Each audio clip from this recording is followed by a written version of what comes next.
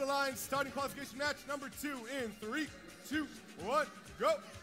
It's time for the sandstorm period. 11-14 Simbotics already off. They are working and they've got a hatch panel placed on the second level of the rocket for the Red Alliance. Meanwhile, over on the other side of the field, the Dragons are trying to do the same.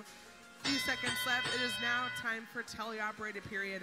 Now these teams are able to control their robot. Already we have the Blackhawks racing over to the blue side of the field, playing some defense up against Darkside Robotics, or excuse me, Bot Raiders. However, it is just Drivetrain against Drivetrain, but it is opening up the Robo Jackets for the Red Alliance. They are able to work on placing a hatch panel on the rocket, and they've got it. Meanwhile, Simbotics is going back and forth between the human player station. They've got all of the hatch panels on one of the rockets. Now they just need to work on cargo.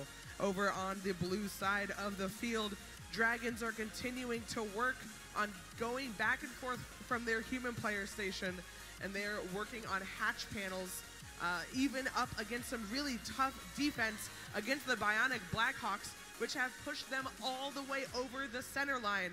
No foul on blue, but it is showing that the Red Alliance means business. They are playing defense and they're making it really hard for the Dragons to play any sort of offense. We have just over a minute left in this match. The Blue Alliance, Simbotics, just filled up a rocket. Meanwhile, their partner, Robo Jackets, are almost there. They need three more pieces of cargo to get there.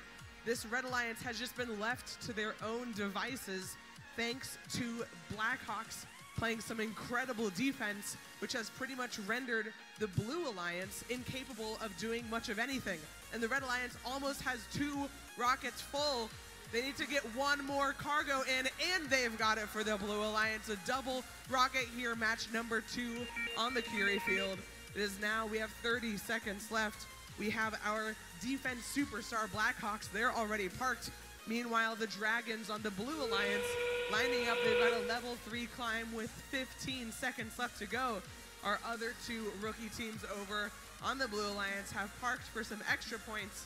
And now the Robo Jackets are trying to get a last few pieces of cargo. They want a full cargo ship. They've got it. Two seconds left. They're going to try to park, and they're up on the HAB level one for the Red Alliance. That is a pretty incredible score that we're going to see over 127 points